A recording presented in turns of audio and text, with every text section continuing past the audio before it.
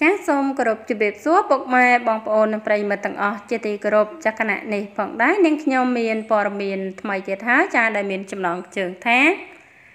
រីករាយណាស់លឿនលឿនដូចភ្នែកបន្ទោពេលនេះលោកបានបញ្ជាឲ្យជួសជុលផ្លូវមួយខ្សែបែកភក់រាប់ឆ្នាំឲ្យคล้ายជាផ្លូវកៅស៊ូជូនពលរដ្ឋ ចានៅមុននេះបន្តិចតាមការផ្សាយលើទំព័រ Facebook ឈ្មោះឯកឧត្តមម៉ៅធនិន បានឲ្យដឹងថាសំណើសុំរបស់ឯកឧត្តមម៉ៅធនិនអភិបាលនៃគណៈអភិបាលខេត្តកំពតទៅក្រសួងអភិវឌ្ឍជនបទដើម្បីសាងសង់ផ្លូវចំនួន1ខ្សែប្រវែង13គីឡូម៉ែត្រឈ្មោះផ្លូវទូកមាសពោតសុយនោះដោយក្រសួងសម្រាប់បើកការសាងសង់ហើយ នៅថ្ងៃទី11ខែវិច្ឆិកាឆ្នាំ2021ខាងមុខនេះចាសសូមជម្រាបថាផ្លូវមួយខ្សែប្រវែង13គីឡូម៉ែត្រឈ្មោះផ្លូវទូកមាសពោតាសុយចាប់ពីទីរួមស្រុកបន្ទាយមាសក្នុងឃុំទូកមាសខាងលិចទៅកាន់ស្ពានពោតាសុយព្រំប្រទល់កំពតតកែវឃុំបន្ទាយមាសខាងកើតស្រុកបន្ទាយមាសខេត្តកំពត ខូចខាតខ្លាំងជាយូរឆ្នាំចង្ហុកដក់ទឹកធំធំ បែកភក់វល់ពិបាកខ្លាំងក្នុងការធ្វើដំណើរជាយូរឆ្នាំពលរដ្ឋស្នើសុំច្រើនលើកច្រើនសារ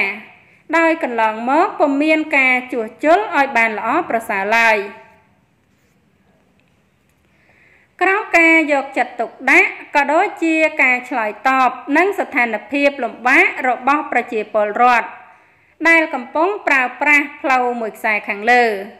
ឯកឧត្តមម៉ៅធនិនអភិបាលនៃគណៈអភិបាលខេត្តកំពត បានណែនាំឲ្យមន្ទីរធ្វើលិខិតស្នើគោលការណ៍ទៅក្រសួងអភិវឌ្ឍជនបទពេលនេះក្រសួងគ្រងនឹងរៀបចំពិធីបើកការដ្ឋានសាងសង់ផ្លូវក្រាលកៅស៊ូ2ជាន់ DBST សូមចូលរួមត្រេកអរជំនួសពលរដ្ឋស្រុកបន្ទាយមាសក្រោមការដឹកនាំដកពងខ្ពស់របស់អភិបាលនៃគណៈអភិបាលខេត្តថ្មីឯកឧត្តមម៉ៅធនិនព្រមទាំងរដ្ឋបាលខេត្តទាំងមូលចាហើយអត្ថបទព័ត៌មានដែលនាងខ្ញុំជម្រាបជូនខាងលើនេះចាគឺមានតែប៉ុណ្ណឹងចាហើយក៏សូមអរគុណដល់ពុកម៉ែបងប្អូននិងប្រិយមិត្តទាំងអស់ចាដែលតែងតែតាមដាន និងគ្រប់គ្រងនៅ Channel របស់នាងខ្ញុំជារៀងរហូតមកចាហើយសូមបងប្អូនកុំភ្លេចជួយចុច Subscribe និងរូបកណ្ដឹងម្នាក់មួយផងដើម្បីទទួលបានព័ត៌មានថ្មីៗជាបន្តទៀតចាសូមអរគុណ